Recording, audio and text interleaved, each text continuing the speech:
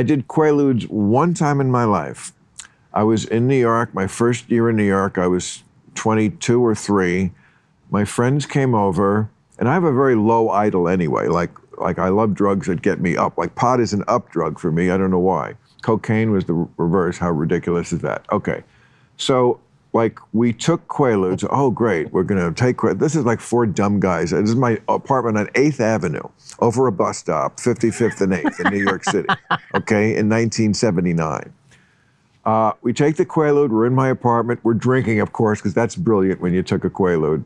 We finally say, okay, now we're fucked up enough. I don't know what we're gonna do. Probably get robbed. We go out. We leave. We walk down the three flights of stairs to, and we get on the street. I go two blocks and pass out. Like I remember like being on the hood of a cab, like like just like like Dustin Hoffman in Midnight Cowboy, except I'm literally passed out.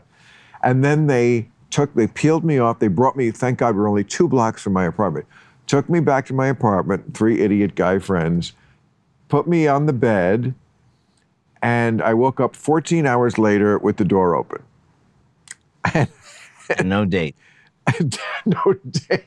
I was lucky to be alive. 14 hours later, it just put me to sleep like, and the door was open and no one had come in and robbed or killed me, which showed me how uh, desirable that. that studio apartment was. Uh, Ten people probably came in, they just looked around and left like a, uh, they were browsing at a candle shop.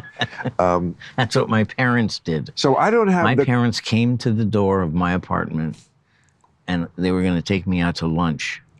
And they, the door opened, and they stood there, and then they closed the door and left and never stepped in. Wow. And because they just went, right. Oh no, no, no. so, and and then we just all imitated one another.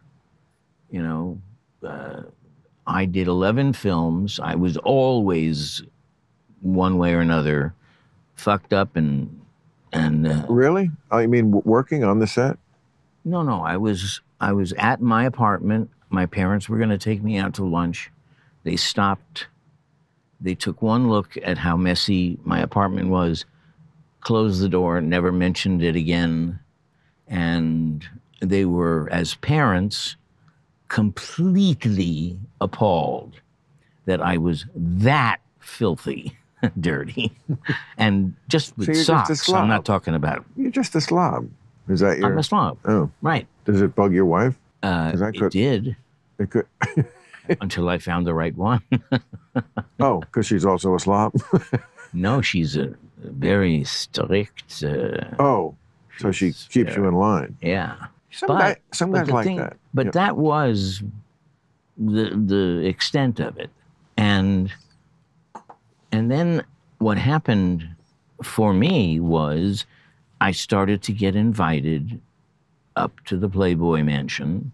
Of course, and You're a movie star. Right. That's what happens.